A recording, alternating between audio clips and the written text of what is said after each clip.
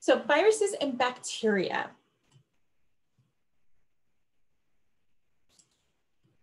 Genetic diversity in prokaryotes is important, uh, just like it is in any other organism. Now, if we remember prokaryotic, pro means no, there is no nucleus in a prokaryote.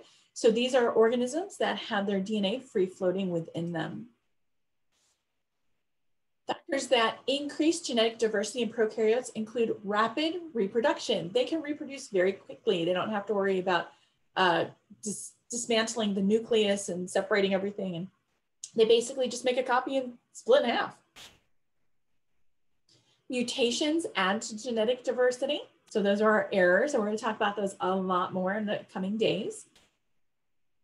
Genetic recombination. So this is like we talked about sexual reproduction, where it um, creates more combinations than we've seen in the past. Genetic recombination occurs in prokaryotes as well. They just don't have the same kind of sexual reproduction that we see in other organisms. So for genetic recombination in bacteria, we have three different things we're gonna look at. Transformation, transduction, and conjugation. Okay, transformation, transduction, and conjugation. Transformation is taking a foreign DNA from your surroundings. So this is when a bacteria will get DNA from something in its surroundings. Generally, this happens by having some other bacteria that dies in the surroundings, decays, which causes the DNA to be free floating in the surroundings. And it can then pick up that piece of DNA and incorporate it into its genome and begin using it. We saw this first um, documented with Griffith, which we're going to study starting with our next lesson. Okay, so the next time I see you, we'll, we'll look at Griffith. But what he did is he took some bacteria that was alive, bacteria that was dead. He did some other things with it. We'll talk about it a lot more later. Now, plasmids. Plasmids are a small ring of DNA that carries just a few genes. It's not part of the normal genome. And if you remember when we talked about plasmids, or I'm sorry, we talked about prokaryotes, in prokaryotes, their DNA is not enclosed in that nucleus, it's free floating. It tends to be in a, like a, a ring, a chain. Think of like a necklace that's all bunched together in one area. Okay, by connecting it, it keeps it from getting too tangled and knotted. But we have this one area that has all the DNA. Now a plasmid is going to be a little circle elsewhere, not part of that, a little circle that has just a few genes on it. And it will be read within the cell like the other DNA is. So it replicates separately from the bacterial chromosome and can carry genes for things like antibiotic resistance. But it is often used for genetic engineering, including gene cloning. Now, when we think of cloning, we think of things like Dolly the sheep that was cloned and making identical copies of people and that, but gene cloning, that's just one little piece of the DNA. Remember, a gene is just a little segment. And we can make extra copies of that through plasmids. Now, why would this be important? Okay, so we can take the gene that we want to be replicated. We can introduce that into a plasmid. So we take that gene, put it in a plasmid, put it into a bacteria. It's then going to use that. So the bacteria can reproduce and it creates more of these plasmids. These plasmids are read by the bacteria. And we're gonna talk about how that works in the next coming days. And by reading it, we can create a product. Now that product can be varied, anything from things like human growth hormone. So when there are metabolic disorders and things that cause uh, problems with growth, there's not enough production of that growth hormone. We can give produced growth hormone to these individuals. Now, this wasn't so easy before. We do the same thing with insulin for people who are diabetic. It used to be if you were diabetic, you would use either uh, porcine or bovine insulin. That means they would have to slaughter pigs or cows, and they would then take the insulin out of them. And once they extract it out of that dead animal, they then would basically clean it and give it to people to be able to use. Now we don't have to do that. Now we do it with bacteria in petri dishes, in laboratories, and we can create huge quantities of it. Okay, so we can mass produce it. It can be very cheap. Now that's the production of it can be very cheap. That doesn't mean acquiring it is very cheap. Uh, there's the whole medical processing companies and business and all that. But we can produce this now that can be given through growth hormones, insulin. We can make a protein, an enzyme that dissolves the clot in an artery to prevent heart attacks. Okay, so we do this using bacteria. We basically trick the bacteria into making what we need. We've also used it to do things like trying to produce bacteria that will clean up toxic waste. So we're creating all these problems, but we're also trying to fix these problems. We can use this whole idea to insert genes to make food crops more resistant to pests. So we can use less pesticides. Now, a pesticide is a poison that is sprayed on plants so that the bugs won't eat them. So the idea is if the plant is naturally resistant to the pests, we don't have to spray poisons on them. So when you hear of GMOs, okay, a GMO means genetically modified organism. If we look at what that means, that means it's something that's not in its original form. Scientifically speaking, most of the foods we eat are genetically modified. So corn, originally about the size of your index finger. Very, very starchy, not all that tasty. Okay, so very small, very starchy. And now we get ears of corn that are huge and very sweet and juicy. That's been through selective breeding. So we've modified that organism through selective breeding. Now, when you hear GMO, what they're talking about is this kind of thing where we've inserted genes into it. So it's been modified through gene therapy, where we've inserted this gene. It then produces whatever protein that gene tells it to produce that is making it more resistant to pests. So it is one of those topics that is kind of controversial because how much study has there been done, how much money has been put into it, all of those kinds of things. The idea would be that if we can safely insert a gene into crops, especially food crops, then we would have less loss of food to pests. So we would have crops that more food that is usable. That means that we could uh, share more food. So it, we wouldn't have small crops, we'd have gigantic crops because we wouldn't have as much waste. But also we wouldn't have to use pesticides, which means spraying those poisons on it. So it would reduce the need for things like uh, the pesticide distribution, which takes energy, whether it's crop, um, crop dusting flights or whether how it's sprayed on, whatever it is, but it would reduce that, it would reduce the poison use. So there's lots of good reasons for this. Whether they are um, safe or not is still kind of one of those controversial things. Generally speaking, what you're gonna find out there is going to be very safe for consumption um, when you see foods that say non-GMO, that's most foods right now because we haven't had the ability to do gene therapy on all of the different types of foods. Okay, so something saying non-GMO is a very vague term. It really doesn't mean anything. So gene cloning, again, this is one of the reasons we would want to do this. Transduction so we had, go back up here real quick, just so we have a real clear understanding, transformation. Transformation is taking something from the environment, okay? Taking DNA from the environment. Transduction is when a virus injects a piece of DNA, okay? So a virus, this is a bacteriophage, a virus, that will actually attach to a bacteria, inject DNA. That DNA becomes part of the genome and it basically takes over the cell. It can cause a recombination of DNA. Okay. So transformation is taking it from the environment.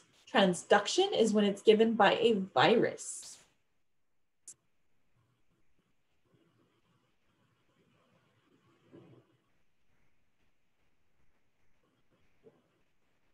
Conjugation. Conjugation in English means when I'm taking two words and put them together, right? That's a conjugated word. So we are going to take two things, put them together. We have two different cells. We're going to connect them and trade pieces of DNA. So here we have two different bacteria. This is a bridge that is connecting them or a tunnel. It's called a sex pilus. And it basically just sends a little piece of DNA over. That's as close to sex as it happens with bacteria. Now, sometimes it's a great distance between them. Sometimes they will actually be right against each other and basically open up just a little hole in the two membranes and trade a piece of DNA. So by doing this, we've recombined the DNA, we've gotten a new mix of information and new things that we can create. Through these types of things is how we are looking at um, having new sets of genes, and it does help lead to things like antibiotic resistance. Now, bacteria versus viruses. So we're gonna kind of segue into our viruses here. Bacteria are a prokaryotic cell.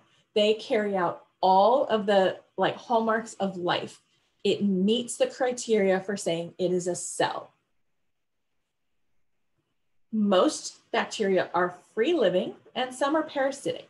That means it has to have a host.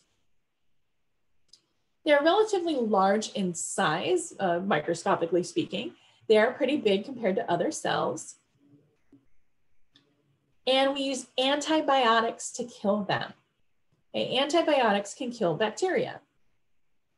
A virus is not a living cell. It doesn't have ribosomes. It doesn't have cytoplasm. It doesn't have all the things that we think of for life. What it does have is protein on the outside and a nucleic acid in the center. Okay, think of a peanut butter cup. It's, you know, one thing on the outside, one thing in the center, but that's it. Okay. It is what we call an obligate intracellular parasite. It is required to be inside a host cell in order for it to replicate. Okay, so it is an obligate intracellular parasite. It's required to be inside something else.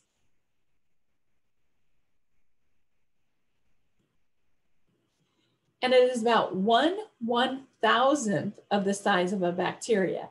So if we stacked up a thousand viruses, that's about the size of one bacteria. So they're really tiny.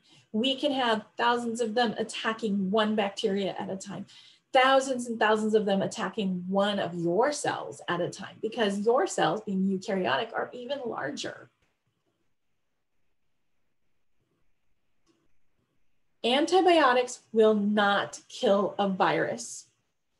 I can't give you penicillin or ampicillin or any of those other um, any of those other antibiotics to kill a virus. They don't kill viruses. We use vaccines to help prevent infections, and we're going to talk about that a little more in a little bit. And we can also have what are called antiviral treatments. So a vaccine is going to give your body like a plan of what might come so it knows how to attack you. And an antiviral treatment helps your body attack it. So, but antiviral treatments have to be given usually within 24 to 48 hours of the onset of whatever the illness is. Most people within 48 hours aren't really feeling bad enough to even bother to go to the doctor. So these aren't used nearly as often because by then it's too late. Some of them that are used and are used frequently include ones for things like shingles. People who have shingles, it tends to reoccur. So they like at the first sign, they're like, wait a minute, I need to get those antivirals so it help, can help treat that. And we'll talk about that more towards the end of this presentation. So a virus is very small. It is less than the size of a ribosome usually. And the components include a nucleic acid inside, that would be the little purple string, and a capsid, that's the outside here. Okay, it's a protein basically to hold it. And that nucleic acid on the inside could be DNA or RNA, and it could be single or double stranded. The capsid on the outside is just a protein shell, like our peanut butter cup. Now, some viruses also have what we call the viral envelope. Now, the envelope is on the outside and it helps it to attach to cells and to kind of hide it. You could, if this was a peanut butter cup, this would be our peanut butter, this would be our chocolate, and this would be that foil wrapper.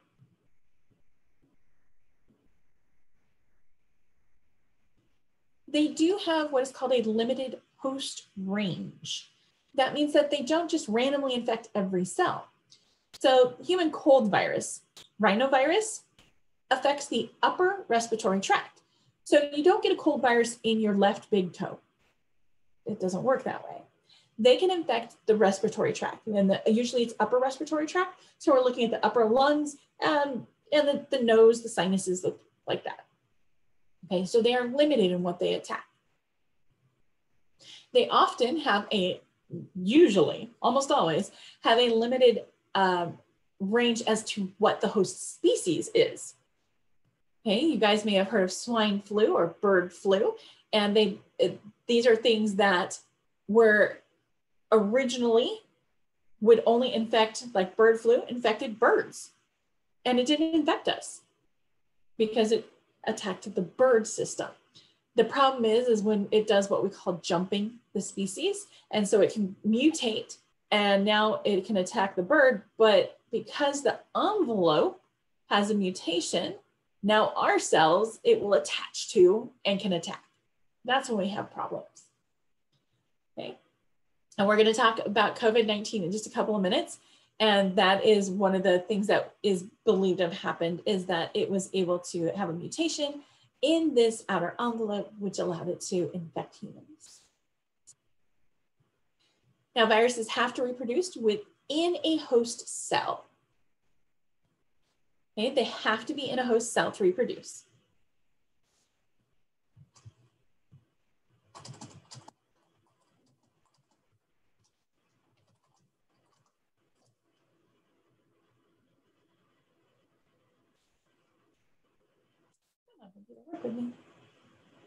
So there's our nucleic acid, there's our capsid, that's our envelope.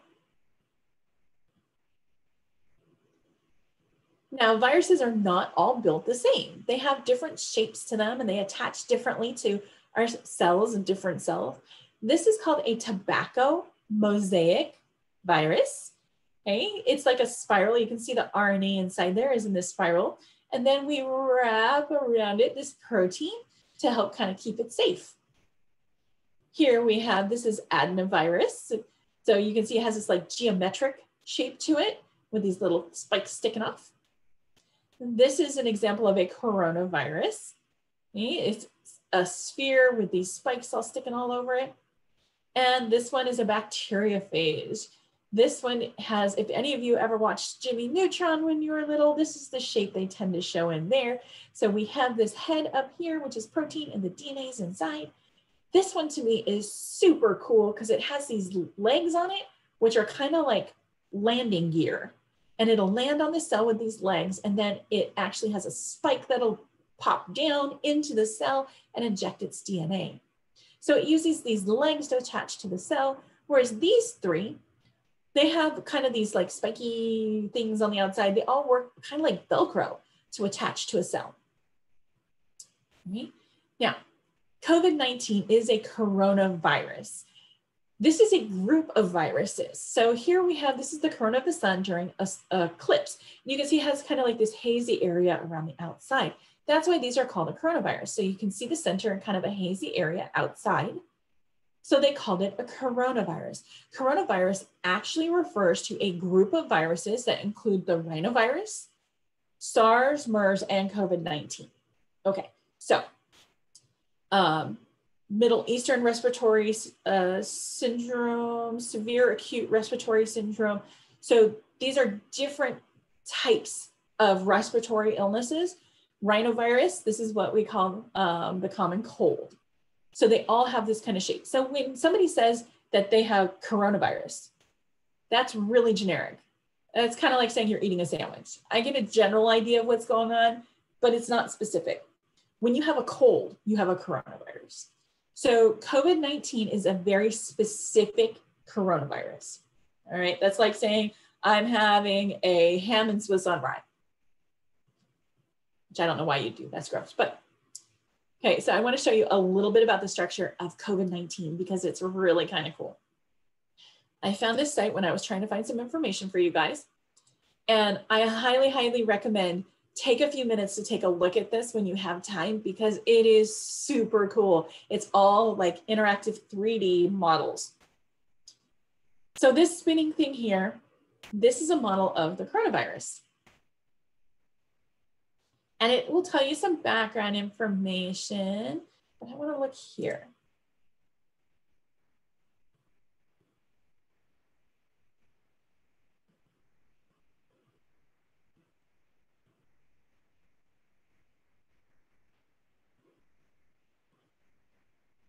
Oh, come on. You can do it, computer. I believe in you. There. So if we were to look at the outside, it looks like this.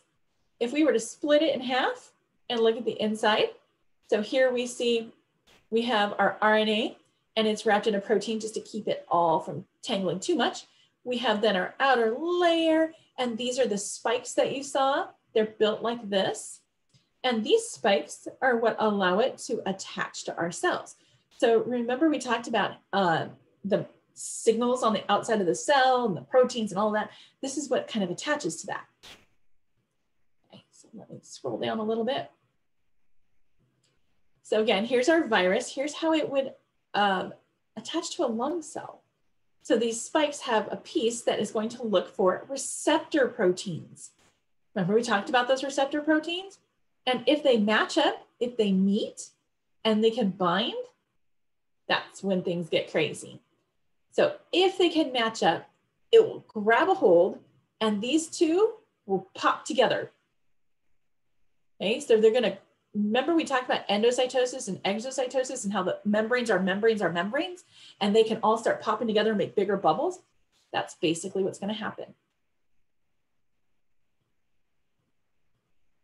and then it opens up and dumps the RNA in.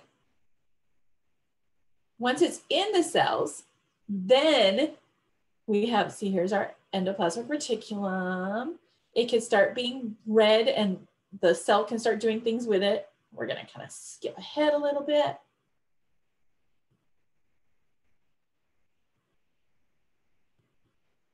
All right, antibodies. The whole point in getting a vaccine is to give your body the playbook for the other team. So I know a lot of you do sports. If you knew all the plays the other team had, it would make it super easy to win, right? So if you were in a battle and you knew what the plans for the enemy is, then it's easy to find it and defeat it. That's what a vaccine does. So the vaccine, now if we're talking about COVID-19, the vaccine is going to give you the instructions for these spikes. And we're going to make, whoop, there's all of our, remember we talked about having uh, the messengers inside and that cascading reaction. There's that happening. All right. So what we want to do is to start by preventing the virus from actually entering the cell. We want this to not happen.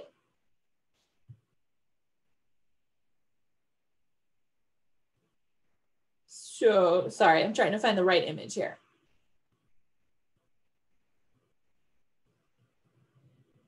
Here's our immune response. So what we do is we look at taking either a weakened virus, inactivated virus, or pieces of the virus. That's how we make a vaccine. Usually you're gonna be looking at things like pieces of the outer envelope. Okay, so if we take those little spikes and we show your body what those spikes look like, then they can go, oh, you know what? I can I can break those, no problem. And if the spikes can't work, they can't attach to your cells. They can't attach to your cells, they can't make you sick. Now, it can still get into your body, but it might not make you sick. This is why even if you've been vaccinated, you might still be able to get other people sick because it's still gotten into your body and it could still be there, which means you can give it off it just means it's not making you sick. So we create these safe things that we inject into the body, and then the body can start working against it.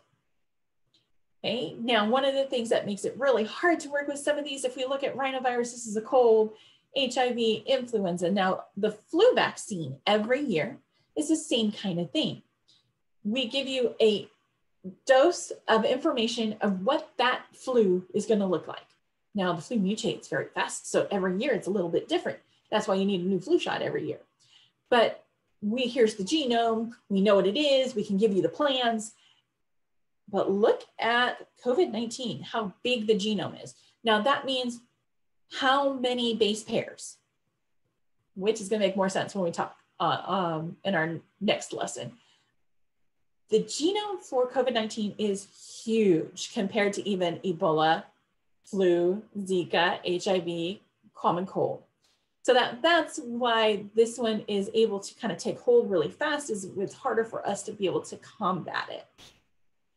All right, um, it has an amazing proofreading system, which we're gonna talk about how that works with DNA and the proofreading. We'll get into all this kind of stuff a little bit more in our next lesson. But you can see here that this is not a particularly complex idea where we have a nucleic acid on the inside, protein on the outside. These spikes stick to our cells like Velcro and we can inject the DNA in, but it can cause a whole lot of havoc. Okay. Now, back here, a bacteriophage. This is a type of bacteria um, that will attack. Again, it has these little landing feet and it injects into the bacteria. So a bacteriophage just means a virus that infects a bacteria. Um, we will look at, let's see. Question was asked, how do we inactivate a virus? Our body creates what are called antibodies. So when we get those plans, see if I can find that section again. When, we, when our body gets those plans, so that vaccine, it says, okay, here's what it's going to look like. And then our body will make particles called antibodies that can attach. And when they are working correctly, they will attach to these spikes. And when it attaches to these spikes, it can attach to our cells. Okay, so it's not that we have destroyed the virus, we've just made the virus so it can't attack us. That's an antibody. Okay. And by getting the vaccine, your body gets those plans and can start making those antibodies. It'll keep a little bit in the system. And then when it's there, it triggers your immune system to send a response. It's like, oh, no, no, no. This is here. This is a problem. Send a huge army. Go kill this. Now, when you get your vaccine, it does not matter what vaccine you get. It doesn't matter if it's Pfizer, Moderna, Johnson and Johnson. It doesn't matter they're all going to do approximately the same thing. The first vaccine, your body's never seen it before. Okay, so it's like, oh, what's this? Okay, sure, whatever. The next dose, you probably have heard that people have a greater reaction. And that's because at that point, your body goes, wait, that's a bad guy. And it starts to react. And your body reacts. The first thing it does when it senses an invader is kick up the heat. Remember, we talked about how proteins can be denatured with heat. Well, the outside of our virus, that's all protein. So if I break it down, it can't do anything, right? So let's kick up the heat and try to kill it. What your body doesn't know right away is that the vaccine isn't actually dangerous. It's just got these particles in there. So it sees it, it freaks out, and then it goes, oh, wait a minute. That's okay. You're good. No, no, no worries. We're good. Okay. And it chills out. So people who get that second dose and they have that immune response, so it's not that you're sick, your immune system has just been triggered and put in a hyperdrive because it's like, we don't want to get sick. That's bad. No infections here. So it kicks on, it starts to respond, and then it goes, oh, there's nothing here. Okay, we're good. So people who get that second injection usually have about a 24 hour response so a day or so, maybe two days at most, where they just kind of feel eh, and they might get a fever, body aches, that kind of thing. And that's your body's response. So it's actually kind of a good thing. It's it's telling you that your body knows what it's supposed to be doing. It knows how to fight it. It knows what's going on. Now I've got my second dose over spring break and I had about a 24 hour period where I did not feel good. I had a fever. I wasn't feeling great, but then it went away very quickly. And it's not fun, definitely, but it is so nice to know now that my body knows what it needs to do. And if I if I get infected by that virus, the chances of me getting so sick that I have to be hospitalized are very small because my body knows how to fight it now. So the vaccine doesn't mean you won't get sick. The vaccine means that your body has help fighting it if you do get sick. So it could get in there, but your body can fight it. Okay, a couple questions have popped up here. Um, is it just white blood cells that interact with them or is it all cells? Do they react differently? Yes, so different viruses actually infect and attack different cells. Okay, so this one in particular starts with the respiratory system, but they do know that it goes into the blood. So this is, that's part of why this is weird and a bit hard for us to fight is because it's not just respiratory. It's not just making it hard to breathe, causing pneumonia, things along those lines.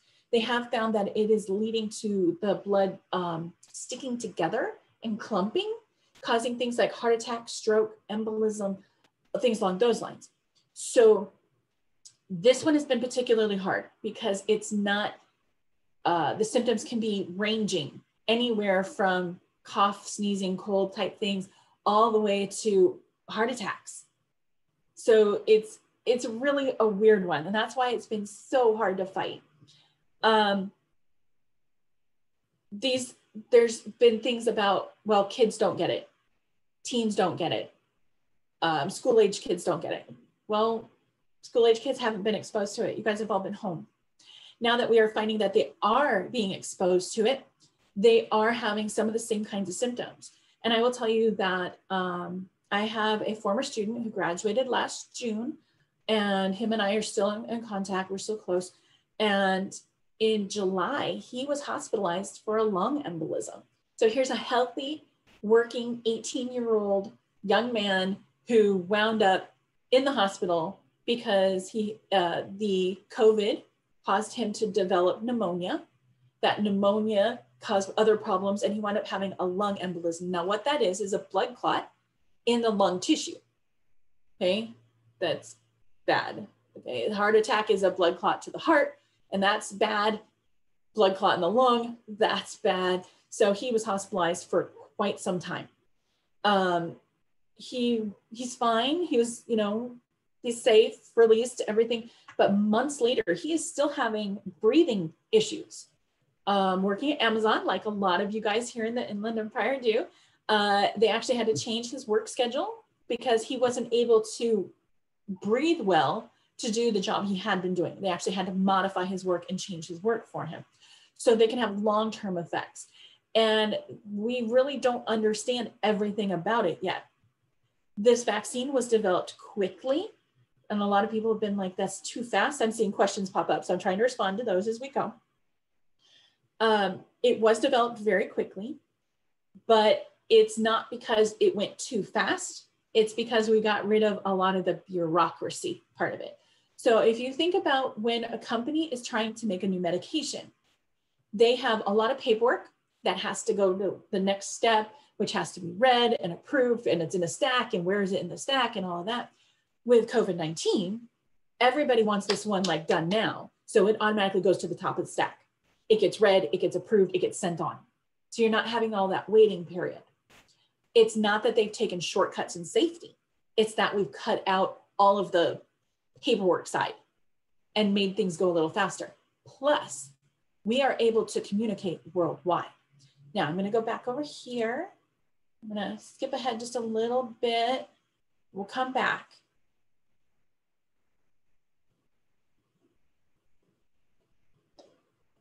But I want to show you here.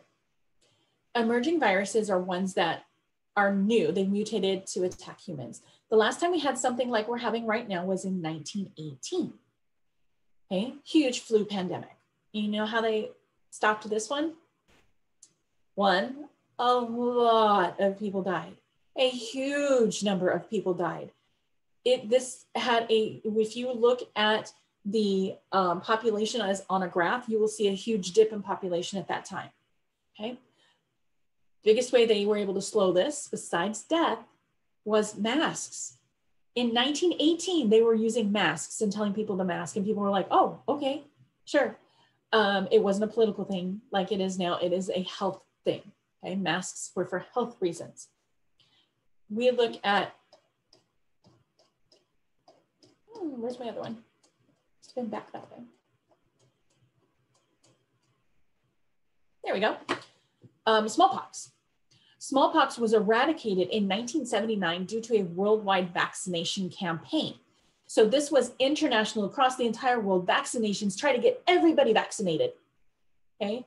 It is impossible to vaccinate 100% of the population because there are people who have health conditions that cannot be vaccinated without causing them problems, including things like death if you have cancer and you are undergoing uh, radiation treatment, that has damaged your immune system. And just by giving you a vaccine, that's enough that it could kill you. So, not everybody can be vaccinated, but we can vaccinate enough of the population that the few people who can't be, everyone around them is vaccinated, so they can't carry it, they can't give it to you.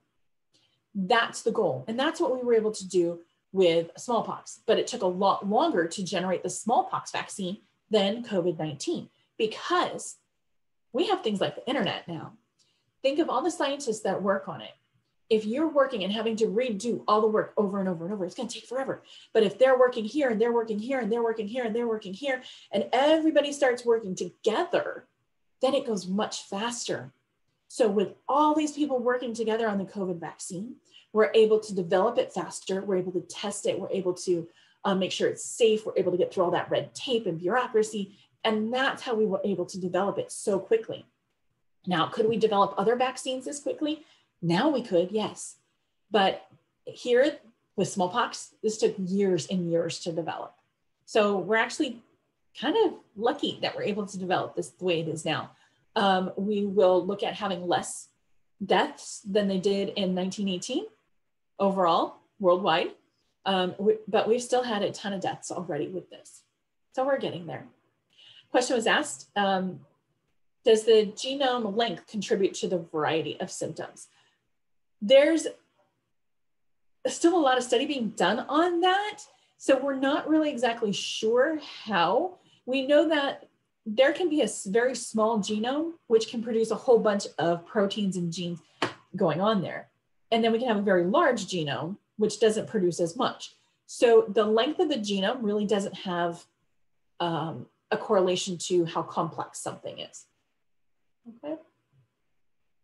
All right, so that's a lot on COVID.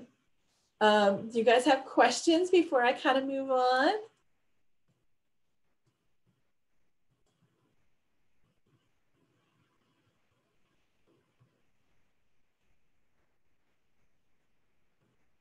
A lot of people have asked, are the vaccines safe? Yes, they are not distributed to the public without being safe. Have people had allergic reactions? Yes, but people have allergic reactions to strawberries. That doesn't mean we stop selling strawberries.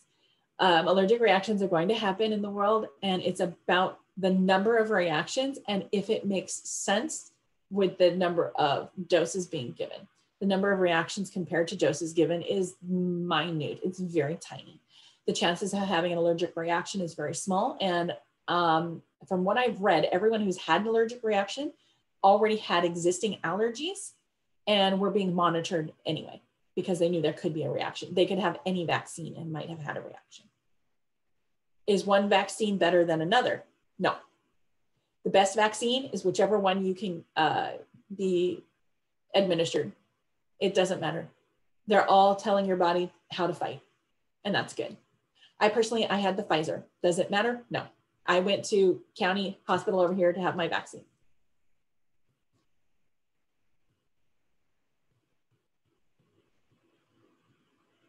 Um, if you're concerned about the, the symptoms of the second dose, I can tell you that teachers I work with at Valley View, I've talked to people who've had no reaction at all to either dose. They're completely fine.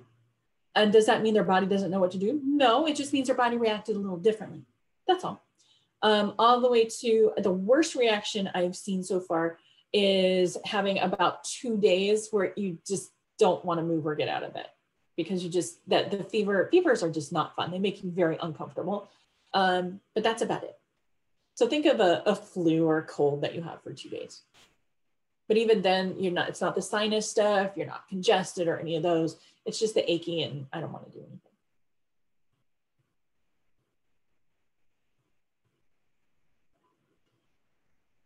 Okay, it looks like no other questions popping up yet. If you think of any, let me know. This stuff is important to understand.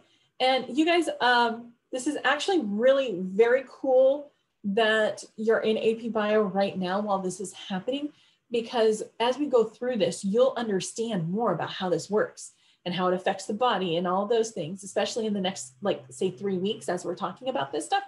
Um, and then when people ask, you'll have, you'll have that information. Okay?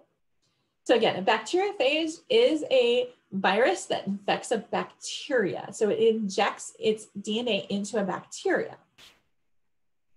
And we can look at the life cycle of a virus, and there are two different types. Now, your um, gizmo is on the lytic cycle, okay?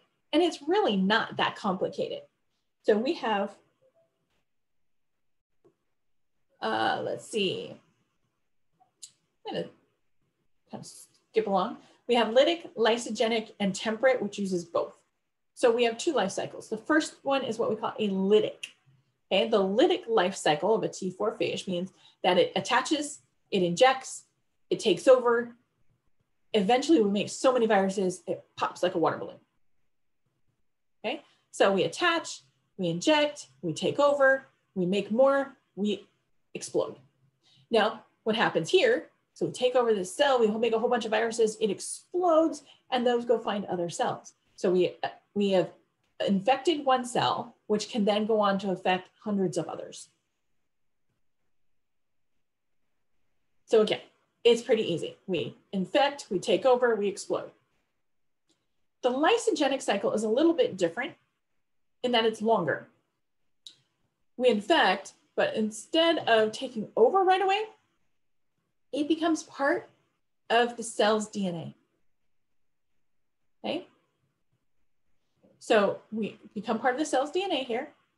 Then that cell is going to just kind of do its thing. It's going to grow, it's going to divide, it's going to make more copies. So one cell that was infected becomes two cells, but we've copied that bad DNA.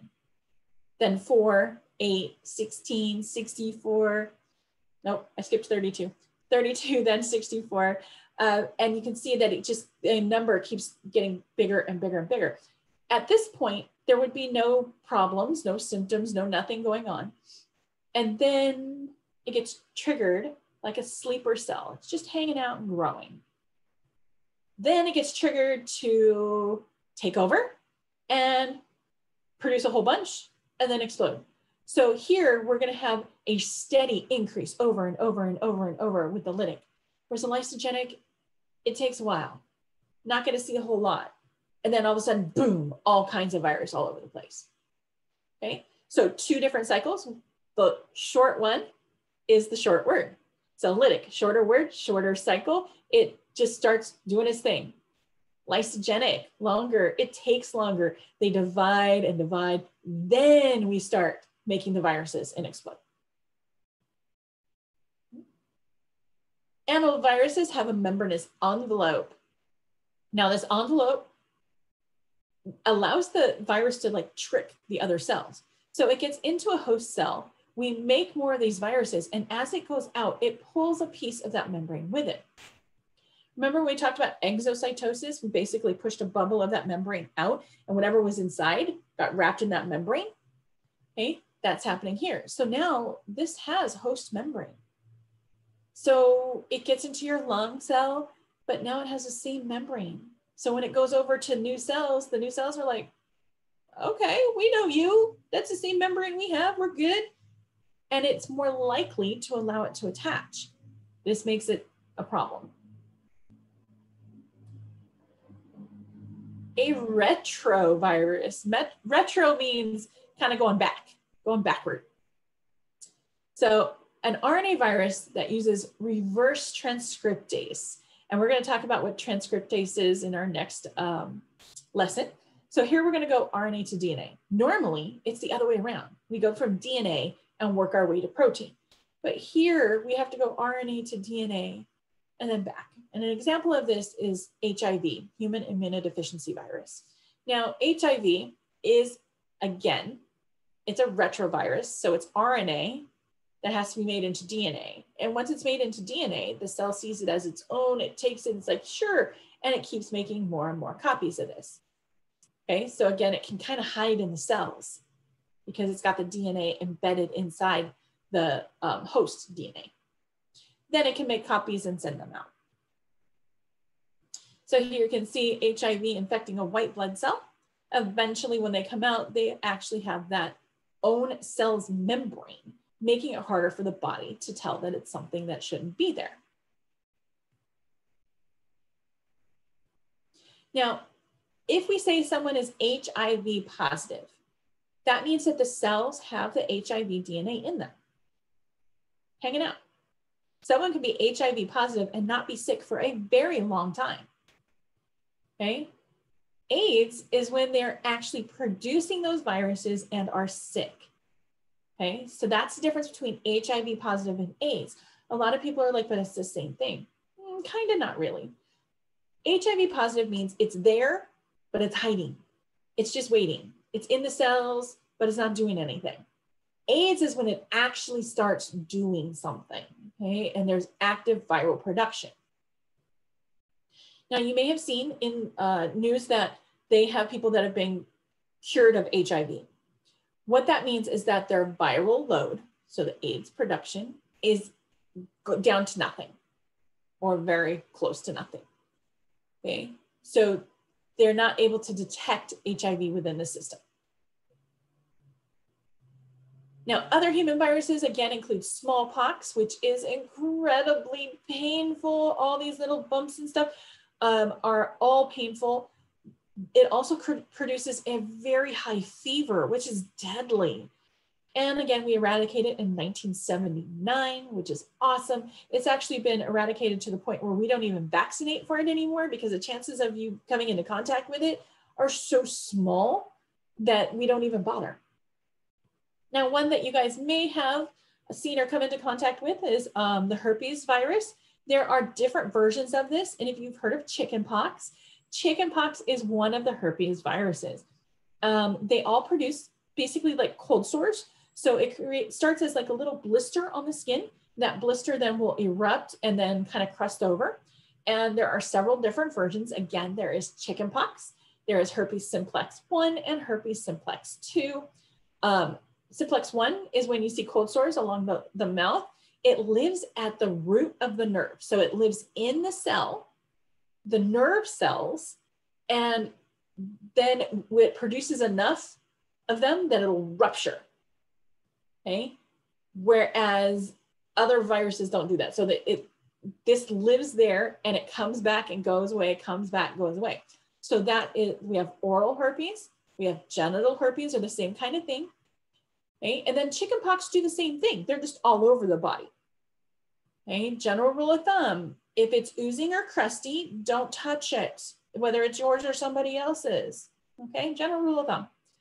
Um, question was just asked for retroviruses. Okay, do they permanently alter your DNA? They only alter the DNA of the cell that they get into. So they can't go to all your cells. So like these would alter only the white blood cells it gets to. Any new white blood cell is not infected, isn't changed. So it's only the cells it can get to. So back to here to herpes. Um, so just like these can go away and come back, chickenpox can do the same thing. So somebody can have chickenpox, it goes away, and then it can come back later, and we call that shingles. And it usually comes back in just a little spot where it kind of was hiding. But it can be very painful. Okay, so that's, we know that that happens. We can give them medication to help reduce that viral load so their body isn't producing as much of those. Can the affected cells by retroviruses be recycled? Um, yes. However, it is usually seen by the body as a damaged cell. And so it's not like it reuses all of those pieces. It's not like it's going to take that viral DNA and use it again. So viral RNA, viral DNA is made of the same components of other DNA. So we break it down to its basic building blocks. So everything's made out of Legos. And it's what the Legos are shaped in that is a difference. So if we break everything down to a, its individual Lego, we can use it again and it's safe. It doesn't matter. And that'll make more sense after our next uh, lesson on the parts of DNA. Okay, very good question. So again, vaccines work by giving you a part of the pathogen or the thing that makes you sick that's either dead, weak, or inactive so that the immune system sees it, knows what it is, and can fight it before it can make you sick. We talked about these emerging viruses, and COVID 19 is not like a new thing that we would have a virus like this. We've seen things like this before. It's just that they were not as easy to transmit. And so they didn't make people as sick. We didn't spread it as often, and we locked it down really fast. Okay. Viroids. These are small circular RNA molecules that infect a plant. Plants can get sick, but they don't like cough. You know, we're not seeing trees out there sneezing. That would be scary. So instead, what happens is it causes problems with regulatory control okay, and growth. In the Philippines, they had a problem with the coconut palms for a while where they were being infected and they were actually causing the palm fronds, so the leaves, to die. They weren't growing properly, they would fall off and die. And if your plant doesn't have any leaves, it can't capture any sunlight and do photosynthesis, that means the tree's going to die. So plants can get sick too. They can also get cancer. Prion. A prion is a misfolded protein. So we have those four levels of protein folding. If it doesn't fold properly, it can mean that the attachment points around the outside, so the bonding areas around the outside of the protein, are inaccurate and it can like bunch up tight. And that can cause other proteins to like stick to it. And it makes them very sticky and clumpy. So these prions cause misfolding of other proteins. They stick to them. And eventually, what should have been a bunch of small proteins winds up being clumps or aggregates of these prions. And this causes huge problems in the brain. And we see this in what we call uh, BSE or mad cow disease. It's bovine spongoencephalopathy. Cephalop cephalopathy. There we go. Uh, Creutzfeldt-Jakob disease and scrapie. It's all the same thing. It's just a little different. Like this is in cows, this is in people, this is in sheep. Now, how do you how do cows get mad cow disease? by consuming prions. Now, to consume a prion, that means it came from something that had a prion, which would be things like cow with prion. So a cow consumed a cow with prions. Generally, we would see this in brain tissue. Okay, it's in the brain tissue. So let that sink in a second. That means cows were eating cow brains. What? Yeah, so what happens is we have cattle ranchers and you're slaughtering your cattle to be able to feed people, which is awesome. But you have to feed those cattle so they can grow big. So what do you feed them? Well, you have leftovers from when you slaughtered the cows. That's free protein. So they grind it up and feed it back to the cattle as a protein source. That is illegal now. We do not import from any country that will allow that. Um, we do not allow that in the United States. Um, We've actually like stopped importing from countries that have had positive tests for mad cow in their cattle um, until it's cleared. They actually research it. There was one a couple of years ago from Canada, and it was uh, they actually research it back to the specific cow, all kinds of crazy things. But if any meat is contaminated with that, so let's say that they grind this in a um, slaughterhouse and then they have steaks come down. Well, now the steaks that came through there are going to be contaminated. Um, and then that can go to people, and then people can wind up with mad cow disease. We call it Creutzfeldt-Jakob. Um, sheep, same kinds of things. they have seen this in small tribes in Africa that part of their belief system was to, in order to help keep someone within the tribe when they died, it was customary that small pieces of the brain were eaten by every tribal member. So that in essence kept that person within the tribe. That was their belief. So through some intervention, most of that is is been eliminated, so that doesn't happen anymore. But it was causing this same disease to happen within those tribes. Now, diseases caused by this, prions act very, very slowly. They actually, it takes them about 10 years before you start seeing any symptoms. So you get infected and then it builds and grows within the body and it takes about 10 years to figure out that you've been infected. Okay, they're virtually indestructible.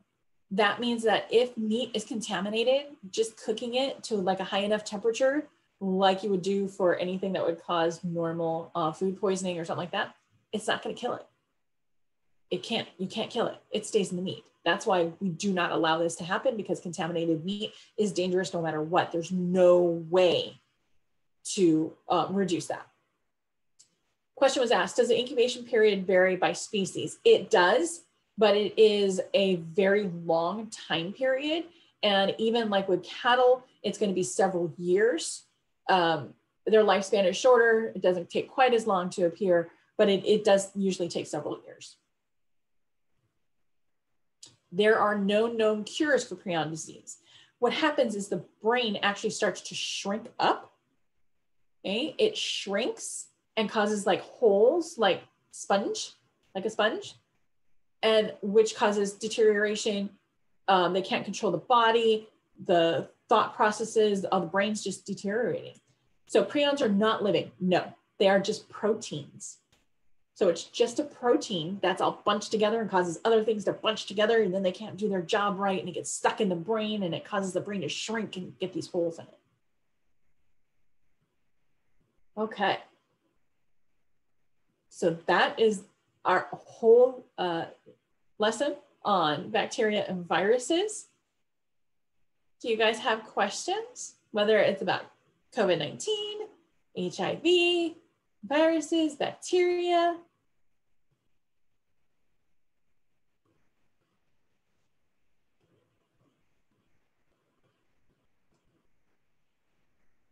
How does HIV stay undetected? That's a good question. Okay, let me go back to my HIV slide. So when HIV infects the cells, it is um, attacking our white blood cells. It goes into the cell, it is then read by the cell, and it like stays hidden in there. So it stays within the cell. And until there is enough of it in the body of the virus, when we do a blood test, we don't see it. Now, when they first started detecting HIV, the technology was not available to detect it right away. Now you can detect it pretty soon. They usually do a test, I believe, if you might have been infected, if you know you might have been infected, they usually do a test right away and then again in about six months, just to make sure that you haven't been infected. Um, be and because it can hide inside the cells, that's why we can't find it or detect it. It's only until it's here because it's a protein and this only, it can't hide in our blood testing. And how does it know when to activate? It there's it's not uh, there's no like real timer or anything they're really not sure if we could figure that out we could like break it so that's still something we have to try to try to work on now when we talk about dna um, in our next lesson we are going to talk about how our dna has like lifetime limits on it. Okay but this does kind of like break those ideas as well. What is the biological purpose of a prion if it isn't even alive? Um, the biological purpose of a prion, it may not have a purpose. It just because something isn't working uh, to help an organism doesn't mean it's going to necessarily go away. So in the case of prions, if and we had a species that had a prion disease, let's say it's cattle, prion disease is going to become is going to come from eating infected meat. Well, if humans did not interfere, cattle would not eat other dead cattle. So it wouldn't perpetuate. Okay. Um, it did perpetuate in those societies that had the uh, the custom of eating tribal member brains. And it wasn't until there was intervention that that stopped. So those the it actually caused shrinking of that society. So there were fewer and fewer members. So it's a bad thing, which means that that is going to reduce the numbers. And when we talk about natural selection in our next unit, you'll see that that kind of like takes care of itself when it's a bad thing. Okay. Now, what biological purpose does a virus have? Um, it's an evolutionary thing. You'll see that all of this comes down to evolution and natural selection. Is there a, um, I mean, viruses do allow for introducing genetic variation. So could a virus introduce something that's beneficial? Maybe. Um, it, there's, what is the purpose to having a gopher? What is the purpose to having seagulls? Is there something else that can take its place? Yes uh, are we haven't even decided whether or not viruses are alive. You could line up 100 scientists and you'd have about 50 of them tell you that it's alive and about 50 that tell you it's not alive. So that's that's a really difficult question to answer. I'm sorry. That's not very useful. Other questions? All right, I will do my best to get this video posted today. I hope you guys, um, if you have questions, will let me know please make sure to get your gizmo done as soon as possible. Uh, this is viruses and bacteria, and our next lesson is going to be on DNA structure and DNA replication so that we can start moving into how that actually means something for your body and for the world around you. Okay? All right, you guys are awesome. I will see you tomorrow. Bye, everybody.